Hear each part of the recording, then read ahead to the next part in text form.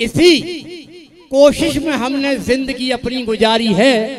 मोहब्बत से मोहब्बत का कोई पैगाम लिख दूँगा और तुम अपने गम परेशानी मुझे मेरी कसम दे दो, मैं अपनी हर खुशी आओ, तुम्हारे नाम लिख दूँगा।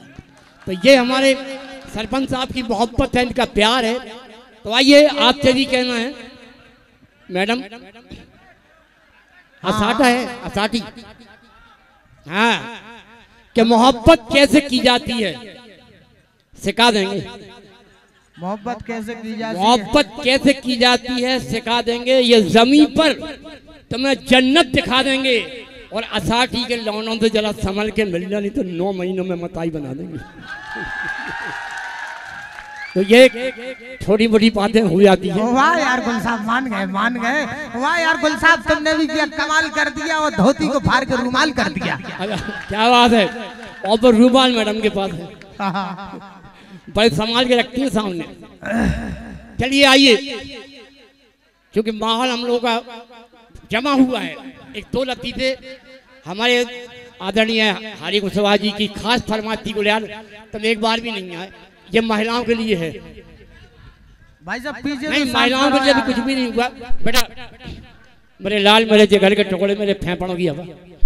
मेरे लाल मेरे जिगर के टुकड़े मेरी फेफड़ों की तो आवाज़। आजकल पीने पिलाने का माहौल बहुत चल रहा है तो जो लोग शराब नहीं पीते वो एक ही बात कहते हैं कि हज़ारों बह गए इन बोतलों के बंद पानी में।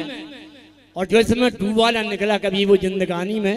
और जो पीते हैं वो एक ही बात कहते हैं हम अपने दर्द की तोहीन कर गए होते अगर शराब ना होती तो मर गए अब भैया दोनों से कहना है, द्वापर में दूध मिला, त्रेता में घी और कलयुग में दारू मिली, सोच समझ के पी नाली में डले। कुत्ते पेशाब कर रहे साहब, क्या नमकीन पिलवा रहे। मज़ा आ गया जवाब में। तो महिलाएँ बहुत परेशान हैं, दो महिलाएँ बातें कर रही बुंदेलखंड में। का भाई? बढ़िया। को बढ़िया, भयानक पी रहे अंग्रेज़ी, देसी, कच्ची। अब भाई, तुम्हें क्या मालूम कौन सी पिया है? अरे भाई, ज़िंदगी हो गई। जब दारू पी के आत और बड़े प्यार से कहा, हेलो माय डियर डार्लिंग हम समझ जात के बैक पाइप पर डाले और जब दारू पी के आत बाहर निकल, मुन्ना की मताई हम समझ जात के देसी पिया।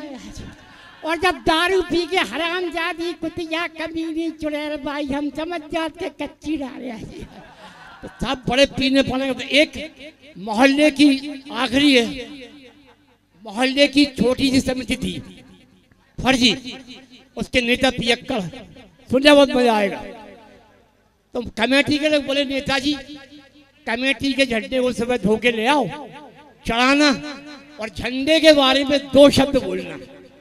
नेताजी ने रात के लगाई, सर्दी का सीज़न, झंडा धोया, लटका दिया सबे उठे, फिर लगाई।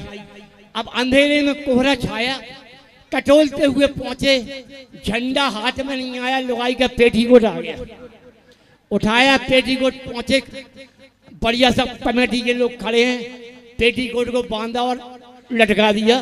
अब जिस समझ रहा है कि ये झंडा है, बोलते भाई झंडे के बारे में दो शब्द तुल शुरू हुए। देखिए हमारे तमाम लोगों से जो हमारे कमेटी के लोग हैं, आपसे गुजारिश है आपको बताना है कि आज हम जो कुछ भी हैं, इसी की वजह से। ये हमारी आन है, जान है। जब कभी हम उदास होते तो इसी के नीचे हमें सुख मिलता है। हमारी कमेटी के बड़े बड़े नेताओं ने इसके आगे घुटने टेके हैं। और एक बात याद रखना, इसे जितना ऊपर उठाओगे, आपको अपना मुकद्दर उतना साफ़ नज़र आएगा। एक बार जोरदार ताली हो जाए तो तालियों में माहौल चलते रहेगा। काय को कर रहा है माता पच्ची। काय को कर रहा है माता पच्ची। ना कांधरी मौका की कच्ची। अमेरिका वाले मोड़ी मोड़न में तरस रहा है। और भारत में देखो सो ओरे से बरस रहा है। जो भी करी है असली है वो पदम पर हो जाते तुम्हारी दो आँखें हैं, उनको मैं चार कर दूँगा। तुम्हारी जो दो आँखें हैं, उनको मैं चार कर दूँगा धोती को फाड़ के रुमाल कर दूँगा। अब मत फंसना मैडम। कालिया के चक्कर में नहीं ही झटके में पूरी लाल कर दूँगा।